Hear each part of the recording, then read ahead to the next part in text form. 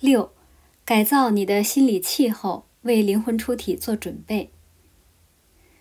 接下来是一连串的练习，目的是处理与我们的灵魂出体工作有关的特定信念系统。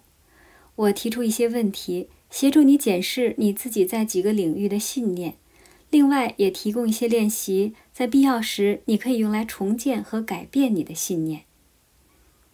这个工作会花上一点时间和功夫，不过对很多人来说，成功的关键就在改变对于灵魂出体的心理和情绪态度。这些练习大部分你都需要纸笔以及一个不会受到干扰的场所。探索可能影响引导灵魂出体能力的信念。练习二：监视相关信念。步骤：让自己觉得舒服，做几次缓慢深长的呼吸，清理你的思绪。读完这段引导之后，接着看下面的第一个主题领域，在你的笔记本上专为那个主题保留的位置当中写出你的问题，在心中思考这些问题，凭你的思想和感觉来作答。然后开始在你的笔记本上写下答案，慢慢来，不要急，对自己要坦白，设法检视你在这个领域的所有信念。如果你发现你对某个领域有互相矛盾的看法，那就悉数写出，让你的思想自由流动，想写多少就写多少。你需要多少时间和篇幅才能全部写完都可以。速度快慢也随你。如果要分几次才能把每一个领域的问题都答完，也没关系。如果你只花一两个小时就大功告成也行，只要你能诚实的检视你在每一个领域的所有想法就好了。主题一：回程。你对出体仪式忐忑不安，是不是因为你认为你有可能回不来？请详述并解释你的想法。主题二：困难度。一般来说，你认为引导灵魂出体有多容易或多困难？请说明理由。明确的说，你觉得要在意识完全清醒的情况下引导灵魂出体，对你来说有多容易或多困难？为什么你会有这种感觉？主题三。必备的天赋，你相不相信灵魂出体需要某种天赋能力？请解释。你有多相信自己拥有灵体探险的天赋？主题四：安全感。你在你的生命中觉得有多安全？请详述。你觉得这个世界是个危险的地方吗？明确的说，你在你的世界里怕的是什么？主题五：安全和灵魂出体。你觉得离开你的身体有多安全？你觉得离开你的身体可能会有什么危险？请详述。主题六：超出界限。你觉得刻意引导灵魂出体有多自然或不自然？请解释。你心里对于搞这种东西的智慧有没有任何疑问？请解释。主题七：欲望。你真的想要有这些经验的欲望有多少？你的欲望有多强烈？你为什么想要离开你的身体？主题八：价值观。你觉得这个工作有多重要？相较于你生命中的其他工作，你认为这个工作有多少价值？明确的说。你认为这个工作为什么重要？主题九：你把这个工作列为优先事情之一的意愿有多高？你是否准备要把时间和精力放在灵魂出体的练习上？你到底愿意把这件事放在多优先的次序上？主题十：善与恶。你相信那里有我们应该担心的邪恶势力存在吗？你对善恶的信念可能对灵魂出体的练习造成什么影响？主题十一：自己的力量对于你创造自己的实相这份能力，你相信些什么？你对你生命中的哪一个领域有无力感？你能够感觉到自己的力量到什么程度？你能够运用它，让你想要的事情成真到什么程度？主题十二：其他的限制性信念。写下你想要进行灵魂出体就会浮现的其他限制性信念或问题。练习三：找出局限的信念。第二步是找出显然局限或有改善空间的信念。为了达到这个目的，请利用你对上述问题的答案以及其他已经浮现的领悟或直觉。以下是典型的限制性信念：引导灵魂出体不容易。如果离开我的身体，我可能会迷路，永远找不到路回来。我从来就不是特别有通灵天赋的人，所以我看我这件事也不会多行。我们也许应该乖乖待在我们的身体里比较保险。步骤：在一张纸的最上方写出每个主题名称，一个主题写一张。从第一个主题开始，阅读你回答每个问题的答案。然后在主题名称相同的另一张纸上写下简单的陈述，尽可能清楚明确地表达你对那个主题领域持有的信念。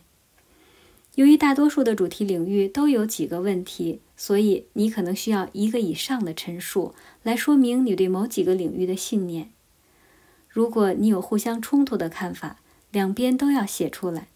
不过重点是清楚辨认你在每个领域的信念。并用一两段简洁的陈述，设法具体阐明。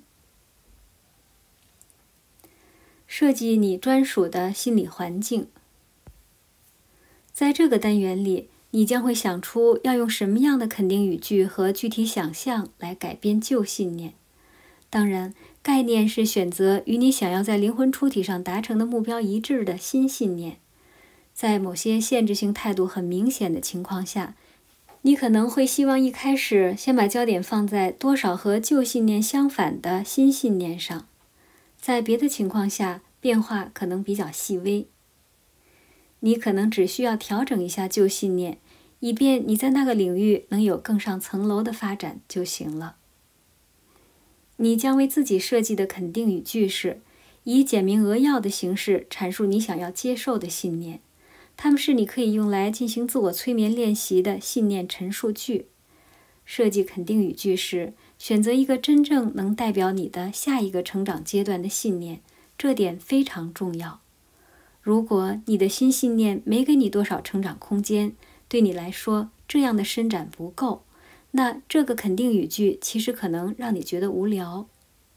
反过来，如果你选择一个对你来说伸展幅度太大，因此，你不相信自己做得到的新信念，那你可能无法真的接受它。因此，你现在先选一个伸展幅度你能够应付的信念，然后随着你进一步的伸展，再去更新你的肯定语句。当你改变信念时，你一定要了解自己的旧信念为什么局限，也要看到你的思想犯了什么错。随手写下你认为新信念对你来说是或可能正确的原因，以及旧信念为什么不是。好好想一想。如此一来，当你开始把焦点放在新的肯定信念练习上面的时候，你才能用逻辑和可靠的推理支持自己的立场。这将会帮助你接受新的信念。在前面几章，我们已经讨论过十二个主题领域当中的几个领域。在我们正式开始创造肯定语句和具体想象之前，对于其他几个主题领域，我还有一些话要说。困难度，在引导灵魂出体时，你遇到的困难可能正如你预期的一样多，因此你的肯定信念练习应该引导你朝着期待困难很少或根本没有的方向前进。必备天赋。引导灵魂出体的能力与天赋的关系，不比练习者个人的态度和决心来的重要。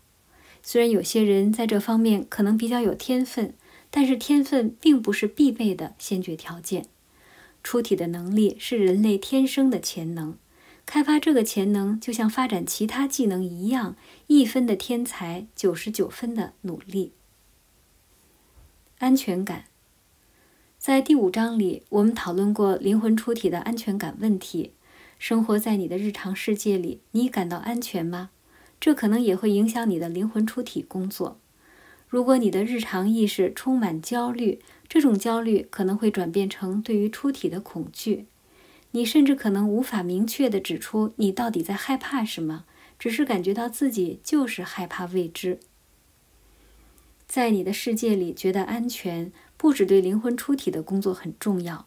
对你整体灵性的充实也很重要。一直觉得有威胁，创造能量会因此消减。报纸和电视的确经常对我们进行疲劳轰炸，不停地试图告诉我们人类对于这个世界的事件是多么没有影响力。不过，我们可没有照章全收的必要。当你了解你拥有透过巧妙运用你的专注焦点来创造个人安全实相的力量时，你就能够调整一个将会促进生命成长的心理气候。因此，如果你在日常生活当中觉得无力或有威胁，你一定要提醒自己，你有能力创造个人安全的实相。设计一个肯定信念的练习，利用它达到这个效果，不只对你的灵魂出体工作有帮助，还有很多其他的好处。例如，这个领域的肯定语句可以是。我创造自己的实相，我绝对安全，永远也不会受到任何伤害。欲望和决心，对很多人来说，我们一直在谈的这种工作，牵涉到用很不一样的方式使用他们的意识。一开始可能要有一点坚持。如果你增强自己的欲望，成功的机会也会提高。针对这个主题领域提出的问题，用意是帮助你评估自己目前的欲望和决心。欲望并非静止不动，运用肯定语句和具体想象，你就能增强自己的欲望。概念是尽可能对这个工作兴致勃勃，尽可能为自己打气。强烈的欲望和决心会把你想要的结果带来给你。这两个领域的肯定语句可以这么说。我对灵魂出体经验真的是兴致勃勃，我有百分之百的决心投入灵魂出体的工作，而且我每天勤加练习。善与恶，我相信了解不论是体外或体内的探索，根本没有邪恶这种东西存在，非常重要。我们认为的恶果，其实是心灵或心理有病的结果。相信主宰和伤害别人或戕害环境也无妨，就是这种病的一种形式。从这个角度看来，这个星球整体来说多少是真的有病。不过，这并不是说人性本恶。下这种结论的人都犯了让这一整个疾病永存不朽的错误。这种病其实是欠缺了解，以及个人在成长和发展过程的某一点上误用了能量所致。明白你的本质是善的，人类和我们所在的宇宙也是如此，这一点非常重要。这种态度会让你用爱和尊重对待自己和别人，不管是否出体。你也会因此了解到，灵魂出体之旅的过程实在没有什么好怕的。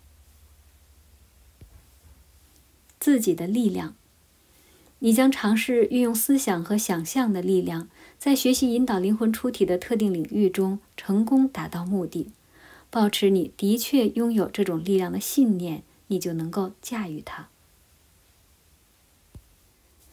练习四：构思肯定语句和具体想象。步骤：要做这个练习，你需要十二页具体阐明的信念。先从第一个主题领域着手，看看你所陈述的信念，用你的直觉和理智。来判断这个信念对你还适不适用。如果你觉得这是一个限制性的信念，会有改善的余地，还是根本和你想要达成的目标背道而驰，那就按照之前说过的指示处理。如果你对这个领域目前的信念和结果都很满意，就不需要改变它，继续看一个领域。对于你希望改变的领域，请依照下文处理。在你的心里。开始构思新的信念，来取代这个领域的旧信念。花点时间想一想之后，在同一张纸上写下表明新信念的简单陈述，这就是你的肯定语句。这是针对你个人状况而设定的句子，所以你不会觉得别扭。变换一下遣词用字，写出几个版本，直到你感觉对了为止。这里有个重点要提一下，那就是一般而言，你的肯定语句应该用现在式。举例来说，你最近相信你很难引导灵魂出体，反驳这个信念的一些肯定语句可能像这样：我很容易灵魂出体，我每个月或每周都会有几次灵魂出体。引导灵魂出体是我的家常便饭，毫不费力。决定信念肯定语句的措辞之后，把最后的结果写下来。现在开始想象适用你这句肯定语的画面。你可以创造像照片那样的心象来表达信念肯定语句的本质，或者你可能想要在脑海里像播放影片一般，让事件一一呈现。不论你用哪种方法，都要让你的想象具体化，变成一幅鲜明有力的画面，呈现你想要创造的实像。你可以用如实呈现的想象，也可以用象征性质的想象。比如说，你可能想要用你自己出体后在卧室里漂浮的画面，当做你的具体想象之一；或者，你也可以用一只老鹰盘旋在群山上空的画面。这里没有任何非遵守不可的规则，每个人都会照自己的方式做这些练习。在某些主题领域里，你可能不希望用具体想象的方式。如果你觉得在特定领域里只用肯定语句更适合你，也完全没问题。只用具体想象而不用肯定语句也一样可以。有些人适合用画面，有些人适合用口头陈述。不过，两者都用其实更好。如果感觉对的话，肯定语句和具体想象两者联合起来，会彼此互相强化，而让练习更有效。不管你现在想到的是肯定语句或具体想象，你随时都可以改变。不过话说回来，你最好是一边练习一边做调整。以下是具体想象的一个例子，你可以用它来强化。灵魂出体安全无虞，你不需担心回不来的这个概念。想象你刚完成一道灵魂出体之旅，现在正溜回你的身体里，在脑海里看着你自己做这件事。回到你的肉身，一点都不费力。想象你感觉自己十分安全、有保障，迫不及待想把刚才的经验写下来。还有另外一个例子是。假设你觉得引导灵魂出体可能是一个违背自然、有害身心的活动，除了反驳那种暗示的肯定语句之外，你还可以试试具体想象，把灵魂出体经验描绘成一件再自然不过的事。情形可能是：想象每个人在不知情的状况下，经常在做梦状态中出体，在脑海里看到这个画面。具体想象数百万人每晚都平静地出体。在没有意识的状况下，到他们存在中的内在维度旅行。想象宇宙或你的更高本我，或任何你喜欢的说法都行。对你想要有意识的觉察你的存在中这个再自然不过的维度所做的努力表示赞同。结束后，拿出一张白纸，在最上方写下标题：“灵魂出体经验的肯定语句和具体想象。”在这张纸上，把你已经思考并敲定的肯定语句及其相应的具体想象全部写出来，每一个之间空两行。接下来的练习你会用到这张纸。